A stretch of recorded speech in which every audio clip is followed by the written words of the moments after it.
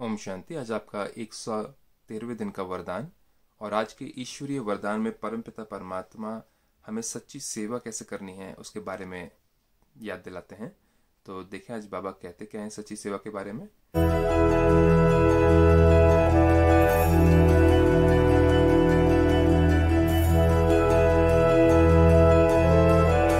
करना और कहना, करना और कहना, इन दो को समान बनाकर क्वालिटी की सेवा करने वाले सच्चे सेवाधारी भवा।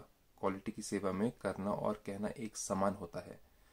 तो परमात्मा विस्तार में कहते हैं, सदा अटेंशन रहे कि पहले करना है, फिर कहना है।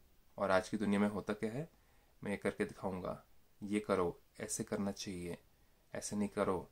तो परमात्मा कहते हैं, पहले खुद करके दिखाओ, उसके बाद में कहना कि करते कैसे हैं। तो ये सच्ची सेवा हो जाती है और साथ ही साथ इसका असर बहुत अच्छा पड़ता है। फिर परमात्मा कहते हैं, कहना सहज होता है।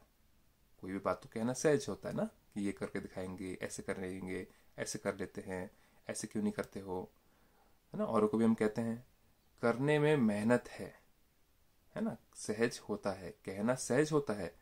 करने में मेहनत है, मेहनत का फल अच्छा होता है। लेकिन यदि दूसरों को कहते हो स्वयं करते नहीं घर बार में देखें माता पिता अगर बच्चों को कुछ कहते हैं कि ऐसे करो लेकिन खुद करते नहीं तो बच्चे कभी भी उस चीज़ को मानेंगे नहीं। और अगर आप, आप अगर ऑफ़िस में हैं ऑफ़िस में बॉस हैं तो अगर आपने कुछ कहा अपने सबॉर्डिनेट को है ना कि आप ऐसे करो ऐसे करो लेकिन खुद नहीं करते हैं तो आपकी चुगली करेंगे आपके ऊपर हंसेंगे आपका मज़ाक उड़ाया जाएगा। तो ये सारी चीज़ें इसलिए होती हैं क्योंकि उनको अंतर दिखता है कहने और करने में। तो उसमें आपकी रिस्पेक्ट नहीं होती है, आपको शक्तिशाली नहीं समझा जाता। तो बाबा कहते हैं, लेकिन यदि दूसरों को कहते हो, स्वयं करते नहीं तो सर्विस के साथ साथ डिस सर्विस भी प्रत्यक्ष होती है। क्या डिस क्या डिस सर्विस होती है? कि आपस में एक दूसरे की रिस्पेक्ट नहीं दिखती है। मज़ाक उड़ाना, खिल्लियाँ उड़ाना, या अगर किसी ग्रुप में अगर देखा जाए, अगर उसका लीडर ही कहता कुछ, करता कुछ है तो फिर उसके अंदर शक्ति नहीं होती। वो आप जो कहना चाहते हो, चाहे जितना भी अच्छा हो, जितनी भी अच्छी बात का हो लेकिन अगर खुद नहीं करते तो दूसरे उसको खुद अपने आप से करते नहीं हैं या उसको फॉलो नहीं करते हैं। तो बाबा कहते हैं, जैसे अमृत के बीच विष की एक बूंद भी पड़ने से सारा अमृत विष बन जाता है। परमात्मा ने जो ज्ञान दिया है वो तो अमृत है, और जो रहने, सहने का खान पान हर चीज़ का बताया वो भी अमृत है। लेकिन उसमें अगर हम खुद ना करें, लेकिन औरों को कहें करने के लिए तो वो क्या हो गया? ज्ञान तो अमृत है लाइफ स्टाइल कैसे जीना अमृत है? लेकिन औरों को बोला और खुद ना करा तो वो एक विष की बूंद के जैसा बन जाता है।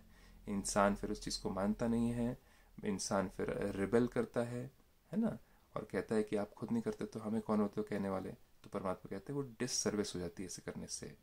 तो ऐसे कितनी भी सर्विस करो, लेकिन एक छोटी सी गलती सर्विस को समाप्त कर देती है। ये एक छोटी सी गलती आप घर बार में करो, ऑफ़िस में करो, बिज़नेस में करो, है ना? खुद ना करो, लेकिन औरों को बोलो। तो वो क्या करती है? अभिमान दिखाती है, अहंकार दिखाती है और डिस सर्विस कर देती है। इसलिए पहले पहले अपने ऊपर अटेंशन दो, तब कहेंगे सच्चे सेवाधारी।